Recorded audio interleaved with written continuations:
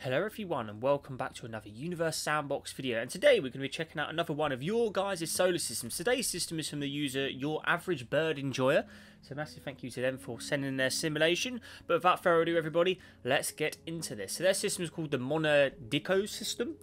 I believe I'm saying that right, so let's go ahead and load it up. It should be here on the subscribed already, and there it is.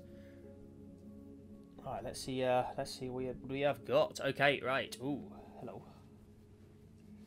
What's going on here? Right.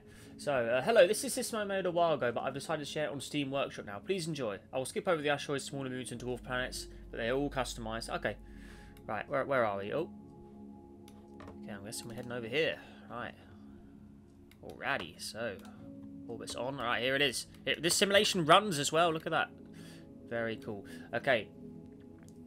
So, Monadico's A and B. So A and B are two binary stars with uh, two, what used to be three, smaller stars orbiting it. They are both large stars that are in the middle of their main sequence phase. Okay. So, okay, so you can see both. Is there two, is that the second star in there somewhere? No, that's a planet. There's the other star. Don't see the other star. A and B are two binary stars. That's the second star. Am I going mad? A and B. Oh! Right. A and B over there. Interesting.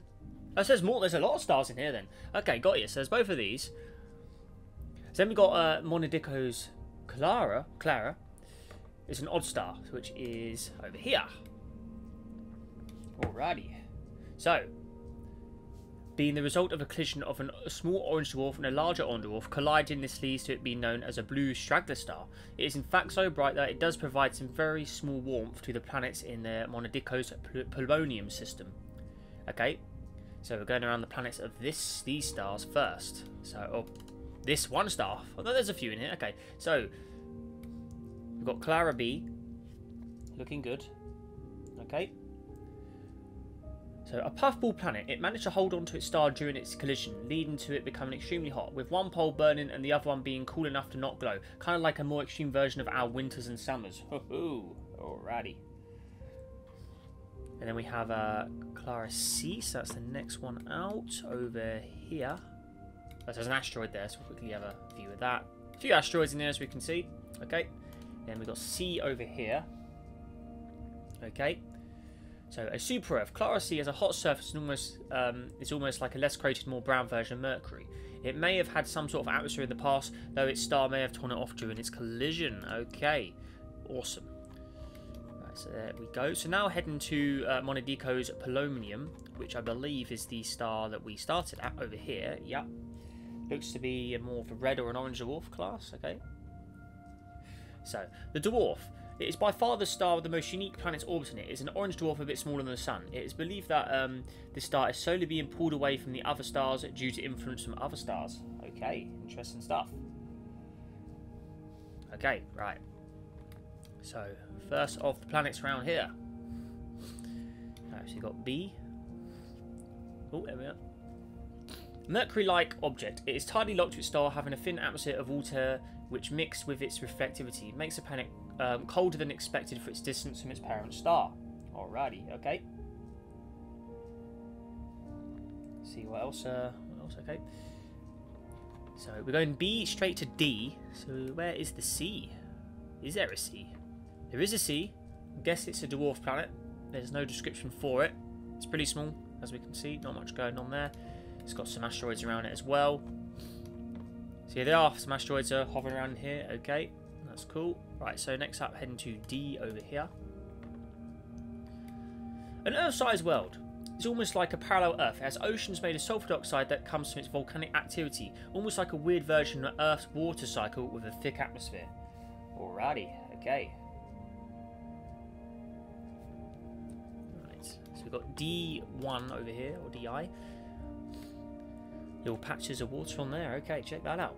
The only natural satellite, it is believed to be a remnant of a past collision possessing a thin atmosphere with a composition not unlike its parents. Okay, excellent. Right, next up we have E over here.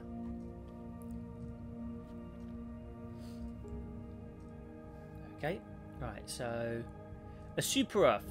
um, this is a rocky planet with ice covering a lot of its surface, although said surface is hidden by a beautiful red atmosphere.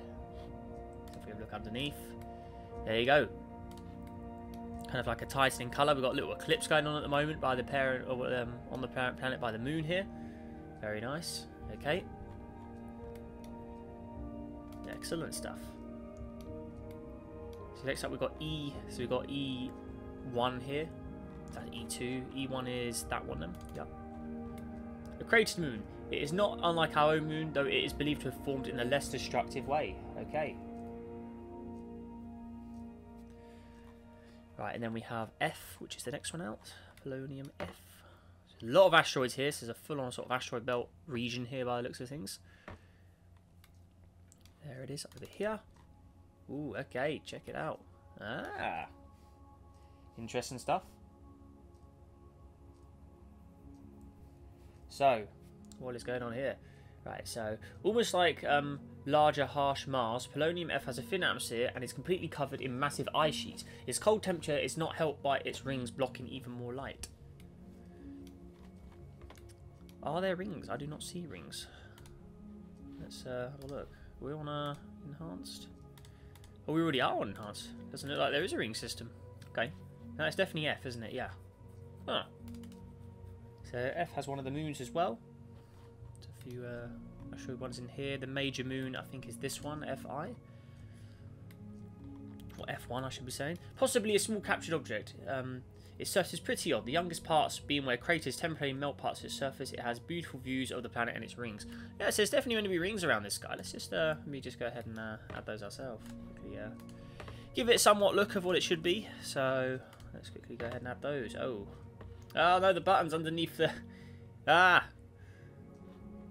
Oh. Uh, can I... Oh, no, I can't get to it. The button's underneath the menu. Ah, oh, man. Okay. I just pretend it has rings. okay. Right. There's both of those. Alright. So now we're heading to... Uh, is it I, isn't it? Oh, I scrolled down a bit, didn't I? Alright, where are we? Uh, so J. Yep. Over here. Well, hang on, did we do uh, F, J... Oh, so we didn't... It doesn't... It skips over G. And which is a very small minor world, as we can see. Okay. So there it is. H as well. H and oh, where's H and I then? So it goes. That's J there. So you can see there's I. Okay, and then it goes straight to J. All right. So here it is. So a ringless Saturn. This J is known to capture any object it can from the asteroid belt near it. It often causing frequent uh, Shoemaker-Levy 9 type events, or even worse, this causes much darker bands. So it has a lot of collisions. This one eats up a lot of stuff. Okay. Interesting indeed. Okay. Right. It has a lot of moons going around it. So first of the moons here, the one with the description. A very small object. It has a thin atmosphere of ammonia and argon. This, along with a purple surface, makes an alien world not like most others. It's getting pretty dark out here from the starlight as well. We've got JV, so J5 as well over here. Now, I after a sized object, JV has a thin atmosphere of lakes and methane in its surface, often gathering in its older, larger craters. This almost perfectly circular lakes of methane scattered around it. Excellent. Okay. Right, next up we're going to the K planet. Let's see if there's any other moons of interest here that don't have descriptions. So it looks to be minor bodies. Yeah, okay. Okay, so where are we? So... Yep, so K is next up. There's a lot of uh, orbits around it, so here it is. The closest, um, the massive uh, object, K, is much larger than Jupiter. Its unique coloration is caused by a part collision with a smaller object at high speeds, making it more yellowish band. It is in fact so large that its star is almost binary with it. Excellent, okay. We've got K1 over here, the closest moon. It is littered with volcanoes and dried up riverbanks. Alright. Got the second one over here. The Mercury-like moon. It has no atmosphere but does have slight volcanic activity. Most said of material has been launched into space, leaving it pretty boring rock. Let me go to the fourth one. So where's Ivy? Oh, God, I'm in the wrong order. Right. There's Ivy there. Just a blue one. Oh, wow. Oh, that's, yeah, that's, oh, that's VI. Hang on. I need IV, which is the fourth one. Oh, there we go. Yeah, it is. Okay. Oh, it's very dark, isn't it? Pretty similar to uh, K2. It is, uh, where are we? Oh, God, I've lost my... Oh, I've lost my place. Where was I? So this is K4. Yeah, so pretty similar to K2. It's another boring rock. Most notable feature is the second largest of the K of the moons. Okay. It's got that interesting blue atmosphere, though. It's got something going for it. Really interesting stuff there.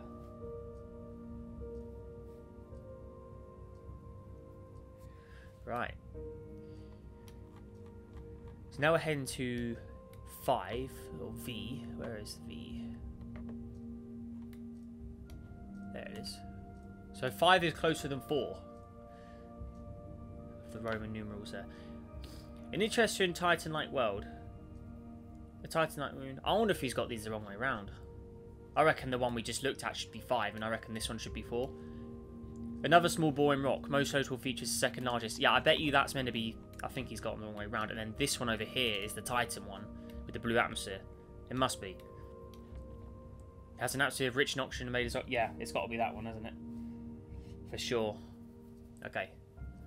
Cool. So that makes more sense. So an interesting Titan-like moon is a world that would have collided with um, swapping between the uh, planets. It has an atmosphere rich in oxygen as well as an ocean made of oxygen as well. Okay. Yeah, it definitely makes more sense with it being that description. Okay. So four and five are the rocks. I thought, it, yeah, because it goes five, four. I mean, yeah, some of the numbers. So you got you got nine there. IX, that's nine. That's closer than uh, four and four. That's closer than four here, which should be five. Interesting. The number three is really far out. Yeah, kind of all in a random order. Those Roman numerals. right. So next up, we're heading to Pumo Num one. So okay, so what's where's that then? Uh, where are we? Or oh, I, it's, it's I. Over here. The Chthonian planet that is a surviving core from a collision. It has a thin atmosphere of hydrogen that remains from its collision. It's pretty its surface is pretty volcanic rock. There it is, okay. Then we have II here, 1 1. A captured planet, its surface is almost as dead as its parents So it's pretty dead. There it is. Next up we've got M over here. Where are we? There. Very dark. See, barely receiving light from either of the stars. You can see it's receiving light but from that binary set over there. A featureless ice giant is a pale bluish colour. Most of the light that reaches said planet mostly comes from uh, Mundicus Clara rather than its own parent star. Yeah. So, M1, where is that? Over here. The Pell. It is a large icy moon with a spectacular white surface. It is the second largest moon in the whole of the system. Okay. How large is that said moon? 0.248 Earths. Okay. M2 over here. A surprisingly rocky moon for its distance from its parent. It is made of more lighter rocks and heavier metals, making it less dense than other moons its size. Excellent. And we have M3 as well over here. Surprisingly, uh, what's it? An Enceladus-like moon. It has a thin ring of volatiles around its parent. From some simulation, has a pretty thin atmosphere. And then number five, V, is here. So it's pretty much in almost peak darkness at this point. A pretty basic moon, not like like um, Polonium M2. I hope you enjoyed the system. If Neptunian Guy does this, I'd like to say thank you for looking at my system. Hope you enjoyed it. I did. And there it is. So that is everything. Okay. There's a lot of moons in here, though, isn't there?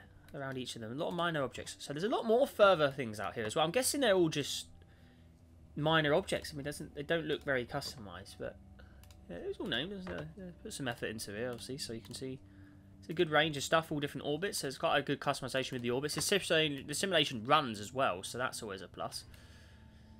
Very nice. You had that system there, and then obviously further out here you had the binary with that third star as well, and then this is obviously the fourth star um, at the distant reaches of this entire system. So there we go. Let's get a lineup of everyone.